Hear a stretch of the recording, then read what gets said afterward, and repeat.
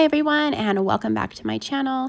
Today I'm going to show you a few things that I purchased at the Goodwill. I was dropping off some clothes the other day and I thought I would step inside and see what I could find.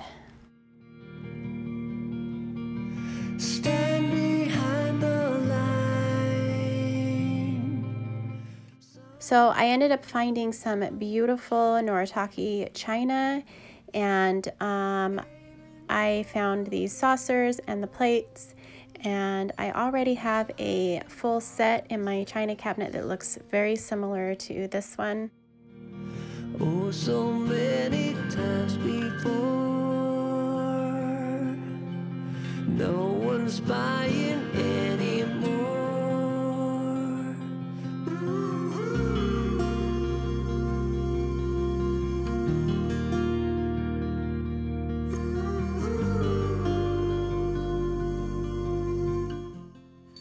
I also found this really cute creamer container and it was originally from Pier 1 and everything but the plates were 40% off.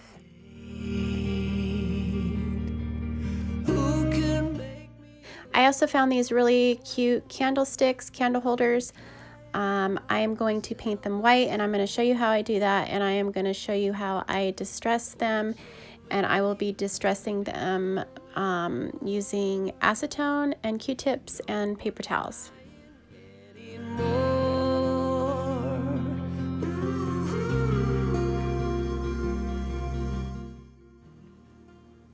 So first I'm going to take the tags off and I'm going to wash these really well before I paint them.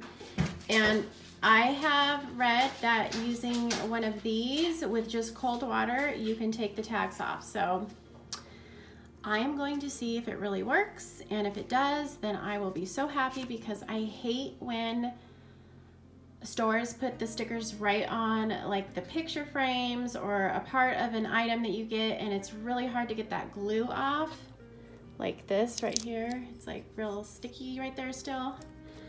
So I'm going to see if these little scrub daddies work. So let's just give it a try.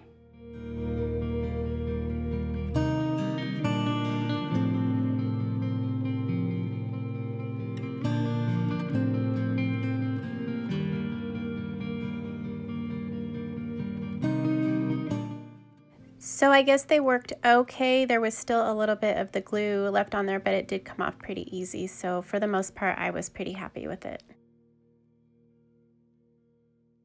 Okay, so this is the paint that I'm going to be using today. Um, I have purchased the chalk paint, spray paint before, and that one works really well. Um, I'm going to try this one, and um, then I will let them dry, and then I will show you how I distress them.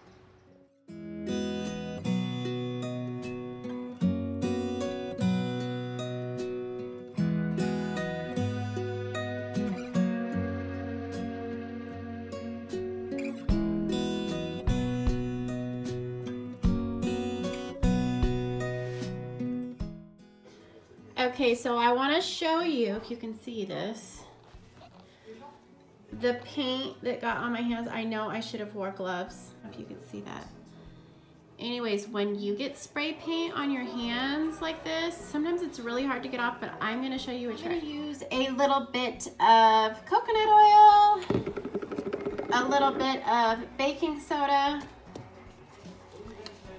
and a little bit of dish soap. You can use regular soap too, but this is how I usually take the paint off of my fingers. So I will just take a small amount of coconut oil and I will mix it with some baking soda and some dish soap and then I'll just rub it on until it rubs all the paint off of my fingers.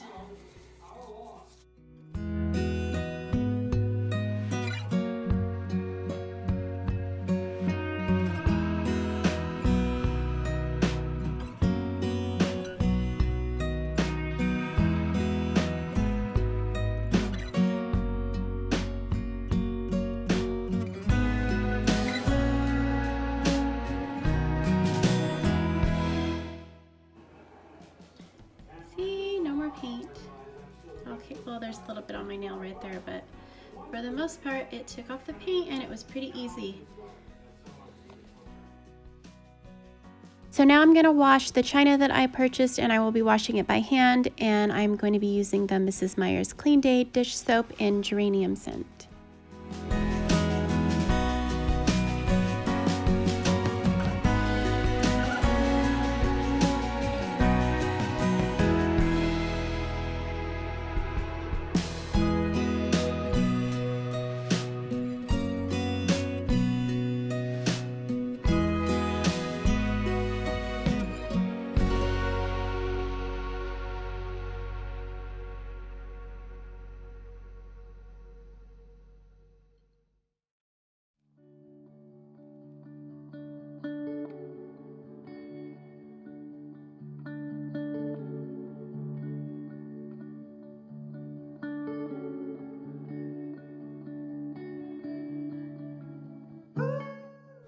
Okay, so I'm going to show you how to make a Tazo chai latte and you just take this chai concentrate and you mix it with some creamer of your choice. I use the almond milk and you can use regular milk or a plant-based milk. I'm using the almond milk in this as well.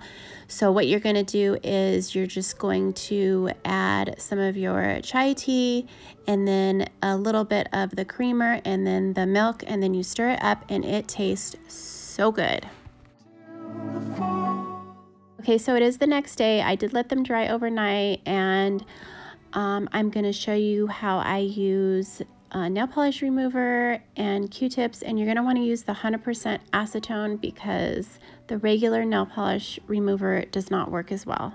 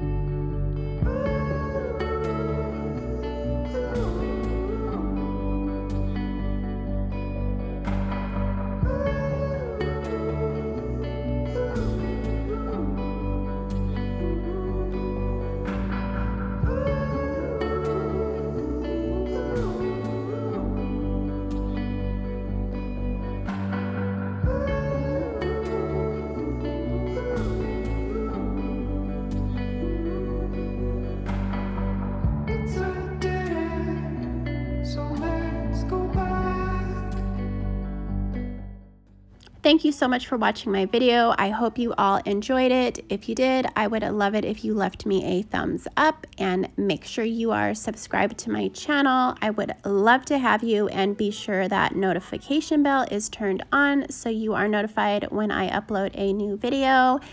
And I hope you all have a wonderful day. Bye.